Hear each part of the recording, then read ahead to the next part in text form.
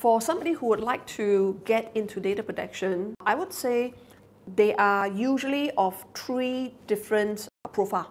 Yeah, the folks who are from the operational functional areas, then I would recommend that they start off with the advanced in data protection operational excellence, and that's an advanced that involves various modules where they start off with understanding the PDPA, they start off with knowing what are the activities to do in order to operationalize the law.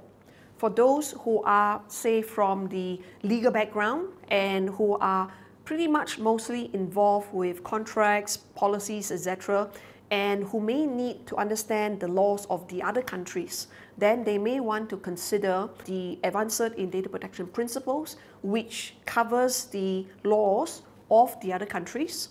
And we actually bring in practitioners as well as experts in those countries to be sharing with you. And we also bring in guest lecturers into the course to share that with the uh, participants. The third group would be those who are coming from a compliance background and so on.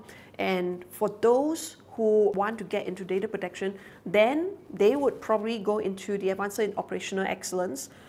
I think that there is a fourth group actually, and this group are those who already are familiar with data protection to move into the whole area of data governance because the world will move towards data governance and not just about data protection because it's about leveraging the uses of data in a legitimate way that would bring value for the organization but do it in a way that would protect their customers and the employees and the public as well.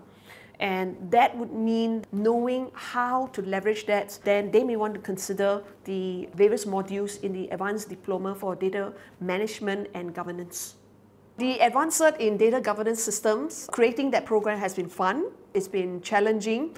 But we hear from people who attended the first few modules is that they've been waiting for this course. And so it's been really, really good and gratifying to hear that from them. Why is this a good time? Well, because we are seeing the movement from data protection into data governance. And the Advanced allows you to learn new frameworks to understand how to put in place a data governance framework for your organization.